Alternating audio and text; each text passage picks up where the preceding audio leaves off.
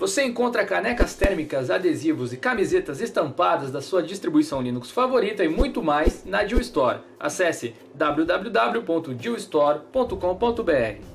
Fala galera, beleza? Ó nós aqui outra vez. E hoje estou aqui para poder debater um assunto que se torna até polêmico, que seria a parte de jogos.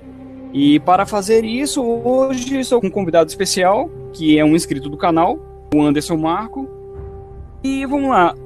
Anderson, é, fica à vontade, tá bom? Tudo bem. Beleza? E, pode, e pode dizer pra gente quem é o Anderson, o cara? Bem, eu trabalho basicamente assim, estou fazendo mestrado na UFABC e eu, eu, sempre eu trabalho desde 2008 com GPU na área de, de, de, computação gráfica um pouco, mas especialmente na área de usar ela para fazer código científico rodar mais rápido dentro da, da placa de vídeo. Show. É, mais ou menos essa é a minha, a minha área. Certo, legal. Então você trabalha muito com a parte em cima do GPU. É, pegar código o que o meu trabalho, basicamente, assim, que eu trabalho bastante é pegar código que está feito em Python, em, em Perl ou, ou em C mesmo e fazer esse código que está rodando na CPU do computador rodar dentro da, da GPU. Inicialmente Entendi. se fazia isso por, por computação gráfica pura, né? Mas uhum. depois, hoje em dia a gente já tem coisa mais especializada que faz isso. Legal. E falando nisso, que linguagem você gosta de trabalhar? Tem uma específica, assim, até particular? Ah, eu uso as duas principais que eu uso é C, quando eu preciso fazer uhum. uma coisa que gasta muito tempo, assim, tipo, o código é pesado, computação pesada, eu uso C. E quando é para uhum. tratar texto, é Python. Show. Basicamente essas duas que eu uso bastante. E um pouco de JavaScript, às vezes. É, JavaScript acaba não tem nem como excluir, né? é, não tem. Mas o JavaScript é bom se você ler, se você entender que o JavaScript é um Lisp disfarçado de C. Mas e na parte assim, um hobby que você gosta? Ah, eu gosto bastante de ver anime, até vou usar anime aqui para explicar alguns conceitos de técnica que se usa para computação gráfica. Legal. E. Ah, jogar bastante videogame. Eu jogo. Eu tento jogar uns 3, 4 jogos por ano, mais ou menos. Não dá pra jogar mais que isso. que eu sou meio ruim, eu gasto um mês e meio para salvar um Assassin's Creed. Caraca, mano, também Assassin's Creed é difícil pra caramba. Eu fui na casa de um amigo é, meu. Eu, eu conheço uma pessoa que salva em 4 dias Assassin's Creed. Nossa, mas o cara também não faz mais nada da vida. É, é não, essa pessoa pega o jogo e não para. É, imagino. então a pessoa Doido. salva tipo em 4 dias, uma semana ela já salvou. Eu, eu assim, Cara. se eu jogar forte, eu jogo um, um, mês e meio, às vezes três meses eu levo pra salvar. Caraca. É, eu também não tenho paciência pra isso não. Se for pra eu vir zerar, vou levar um tempão, porque tem um monte de outras coisas pra fazer, né? Acabo é. não tendo paciência pra isso. É. E, e o que, que você tá jogando atualmente? Eu tava jogando Witcher 3, que vai ter agora, falaram que vai ter uma versão pra Linux, uhum. do Witcher 3. É, e eu tô jogando Assassin's Creed, aquele último, Syndicate. Syndicate é da hora demais, nossa. Aí eu Até peguei... os gráficos. É. Hã? Mas o Witcher eu acho mais bonito. O Witcher eu acho que o trabalho da empresa. É, é, se, tipo assim, se você comparar os jogos, né? O Witcher ele é mais leve e tem gráfico uhum. mais bonito que o Assassin's Creed.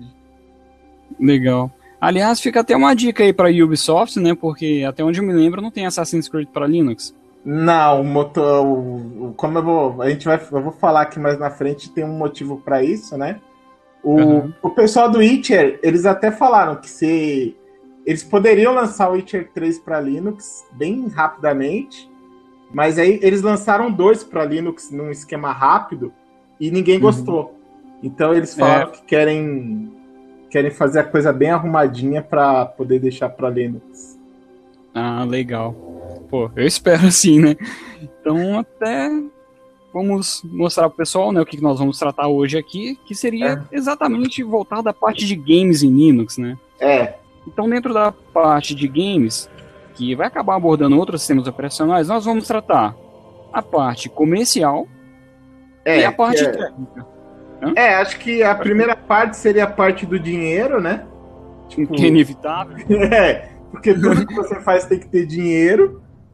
Então, é. e a segunda parte é a parte da, do porquê que o engenheiro não tem, tem problema de fazer, né?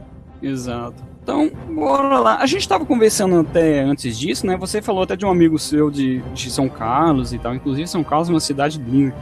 E é. você teve experiência também na parte comercial, né? De ter visto e vivido a parte comercial de jogos também, né?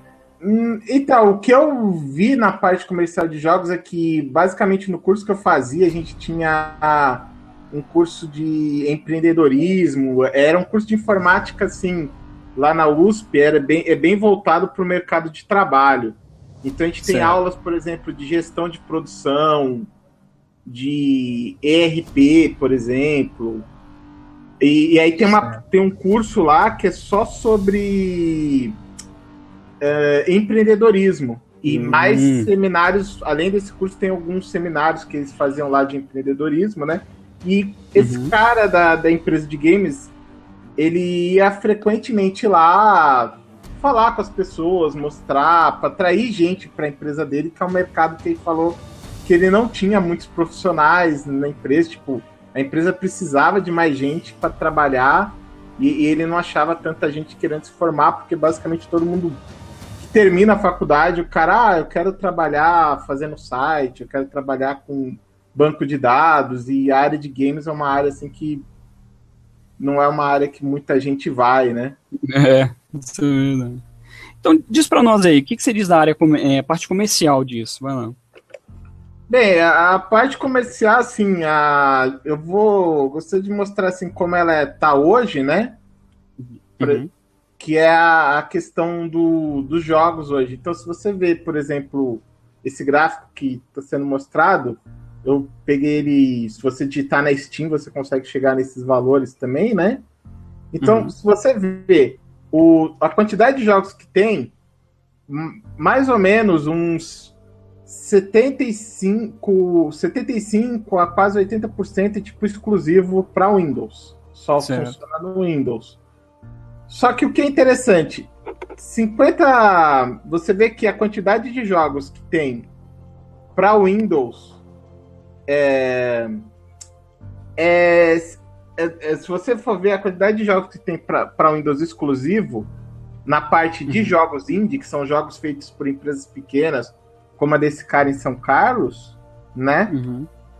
Você vê que ela, tem, ela é uma porcentagem que dá mais ou menos. dá muito menor do que a porcentagem de jogos indie para Linux. Então, um gráfico, uhum. por exemplo, em azul, a parte em azul do, do gráfico, você vê que a maior parte dos jogos que tem para Linux, a maior parte deles é indie. Certo. E isso, Legal. assim, eu, eu acho que é uma coisa interessante que desmente a teoria que se fala que o Linux é, é complicado fazer jogo. Você vê que tem muito mais é. gente fã querendo uhum. fazer jogo do que empresa. É, isso é verdade. E, e se, isso, se isso acontece, não é porque é difícil fazer o jogo para Linux. Exato. Não é por falta de ferramenta. É diferente de você falar, ah, é difícil fazer alguma coisa, por exemplo, multi, é, alguma coisa na área de multimídia, por exemplo, que o pessoal falaria, né? Não, não é. Se, se fosse, você não teria tanta gente amadora, entre aspas, né? Porque não são grandes empresas, produzindo certo. jogos multiplataforma. É, isso é verdade. Hoje em dia existe até ferramentas, né? Eu tive um aluno, inclusive, que ele mesmo desenvolvia como se fosse um Minecraft dele, o pessoal acessava o servidor dele e ganhava dinheiro com isso. É, a monetização Sabe? facilitou. A internet, assim, eu acho que é bem interessante as pessoas geralmente. Você vê o pessoal da velha guarda, da Warner, por exemplo, reclamando que a internet é uma coisa da pirataria, mas a internet está abrindo as portas para quem é pequeno poder começar. É, surge um novo mercado assim, né? É. E a Steam, ela tá, hoje em dia, por causa do console dela, o Steam OS, né, que é um, basicamente o sistema operacional delas voltado para jogos que roda Linux, ela tá incentivando muito as pessoas a fazerem jogos com Linux. Exato. Ela tá dando um, até um, um certo suporte, assim. Mas, uhum. Assim, eu acho que a gente precisa entender por que, que o Linux é, não tinha não tinha assim um grande apego comercial, né? Por que, que demorou para ter jogos para Linux? Porque se você pega em 98, 99, por exemplo, a quantidade de jogos para Linux era era muito pequeno, muito menor do que você tem hoje, né? E na época você não tinha nem as empresas indie, por exemplo. E esse vídeo aqui que eu estou mostrando da Sony, ele mostra um pouco como o mercado varejista, né?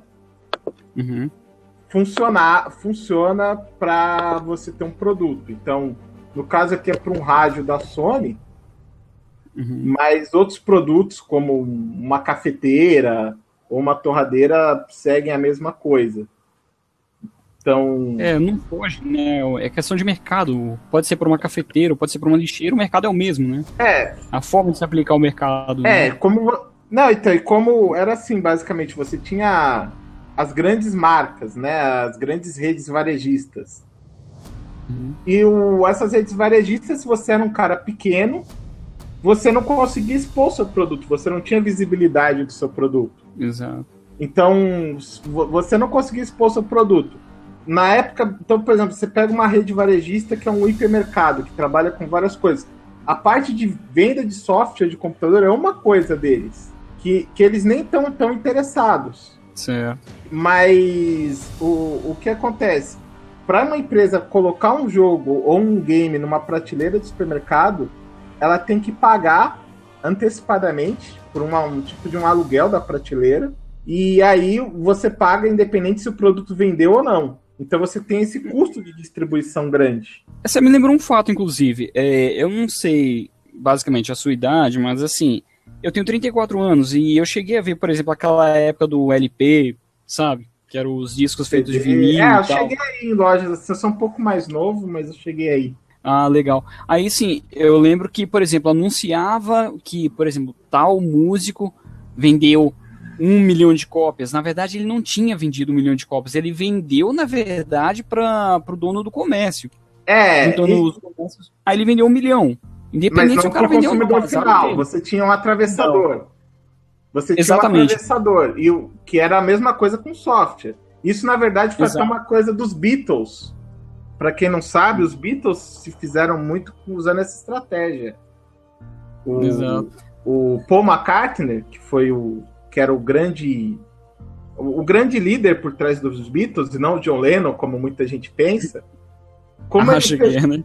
É, muita gente acha que ele é, mas ele não era o cara que, que, que era o líder da banda. Mas o que, que ele fez? No primeiro disco dos Beatles, ele hipotecou a casa dele, comprou um monte de discos dos Beatles e. Ele mesmo. É, e como e a rádio ela, ela detecta que isso está acontecendo nas rádios, né? Então uhum. as rádios chegavam e tocavam a música dos Beatles porque tinha muita venda do disco. Hum, entendi. Te, Foi uma estratégia do cara. É, é uma estrat... hoje isso já não funcionaria mais, mas na época ninguém pensava que alguém ia fazer uma coisa assim. Nossa. E isso já aconteceu, por exemplo, em venda de livro. Tem muitas vezes que a pessoa faz um livro Uh, isso acontece em gestão da produção, inclusive. É, você é meio velhinho, você deve saber da marca Estrela, que hoje já não é uma marca tão famosa. Uhum. É boa, sim. Então, é, por que, que ela deixou de ser tão famosa? Porque ela usou um livro de gestão da produção que não era conhecido, era um método desconhecido na época, né?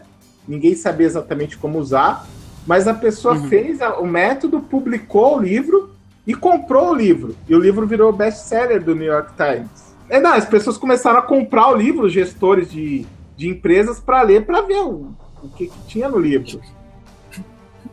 Você vê que é tudo estratégia de marketing mesmo, né? Eu lembro que eu trabalhei numa banca de revista quando eu era novo. E era lá em Itaim Bibi, bairro de rico e tal, né? Uhum. Aí o que acontece? Tal revista, chega lá, o modelo que apareceu na revista ia lá e comprava as revistas. Você vê, é, é a mesma técnica, é tipo. É, não, não muda. Mas assim, é. então, então antigamente você tinha um atravessador. Um atravessador é. mais forte até do que, por exemplo, a Steam, por exemplo. Que, uhum. que, que, e você tinha que pagar para esse atravessador adiantado um custo. Então, uhum. por exemplo, você quer mandar 20 jogos pro meu hipermercado, você tem que pagar por cada um desses 20 jogos que tá na prateleira. E o cara constava como se tivesse vendido. Não, você pagava e se não vendesse. É, Azar do cara do é, mercado. da pessoa, né? Hum. É, eu não sei se para jogo isso era constado, como funcionava essa, essa questão com jogos, né? Ma- Mas, Uhum. o que aquela pessoa de São Carlos me falou era que você tinha que pagar pro hipermercado, o hipermercado ficava com o jogo na prateleira, se vendesse ele devolvia o dinheiro, ele devolvia o lucro, né, para você. Se não vendesse, você pagou e pagou. Não tem volta do dinheiro que você pagou pro hipermercado. Então, você imagina como sendo uma pessoa que produz um jogo e aí você tem que deixar o seu jogo no hipermercado. Você Sim. vai se arriscar em deixar alguma coisa para um sistema operacional que não é tão famoso quanto o Windows? É lógico que não, né? Eu acho que ninguém vai se arriscar, ninguém vai chegar e vai falar, pô, eu vou começar a lançar o produto para vender. Então, mesmo os jogos que tinham para Linux naquela época, você não tinha assim, tipo, dentro do CD a versão para Linux. Porque era outra coisa, o CD é 600 mega. Um jogo do tipo Quake 3 era 550 megas que ele ocupava de um CD de 600. Então, então não tinha nem espaço para o executável do Linux caber dentro do CD do Quake 3. E- Então, então você tinha que pegar o Quake, o CD do jogo para Windows, ir no site da ID Software, que era quem produzia o, o jogo, pegar o executável do Linux, colocar numa pasta do, do computador, e aí você conseguia rodar o Quake 3 dentro do Linux. Hum, Isso cheguei a ver isso. é, acho que isso não vinha nem escrito na caixa do jogo. Nossa, No jogo só vinha escrito que rodava no Windows. Ma- Mas. É, é, era uma coisa assim muito mais complicada de você fazer o jogo rodar do que, por exemplo, hoje na Steam que você vai, baixa o jogo, você comprou o jogo e você baixa ele para Mac, para Windows, para Linux. Se, se o jogo tiver versão, né? Então você tinha essa questão mercadológica que hoje está muito mais fácil você Uhum. deixar um jogo, distribuir jogos para várias plataformas, que antes você, você praticamente não tinha. Aliás, tem uma coisa, isso eu não. Isso eu vi em fóruns, não sei até onde isso chega a ser verdade, mas o pessoal da ID, da ID, eles primeiro faziam a versão do jogo pra, em Linux e depois portavam ele para Windows. O pessoal Hum. fala que era, que era fazia dessa maneira que a ID Software trabalhava. Por isso que você já tinha o executável para Linux muito rapidamente. Era questão assim, Uhum. O, jogo lançou hoje.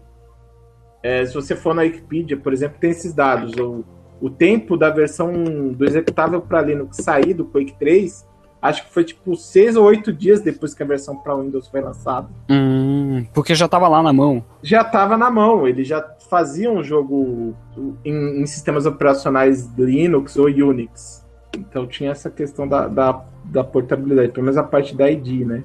Aham. Bom, então quer dizer que já existia a parte do jogo. O jogo já estava pronto para Linux, só não saía no. é, No CD por É, questão de público, distribuição. Era questão Entendi, de logística, que não existia internet. entendi. Aliás, você me falou uma parte desse seu amigo de São Carlos também, que, por exemplo, desde- depois que teve a questão da, da internet mesmo, se tornou mais acessível, tinha uma parte também de disponibilizar espaço, né? É, você tem que hoje você vai para Steam, né? Quando Uhum. você vai fazer um jogo na Steam, por exemplo, você primeiro tem que tem que mostrar que o seu jogo é, seu jogo tem alguma qualidade ou que pelo menos você está fazendo, você está ainda fazendo um jogo. A Steam trabalha com pré-venda, em que você vende o alfa. Sim.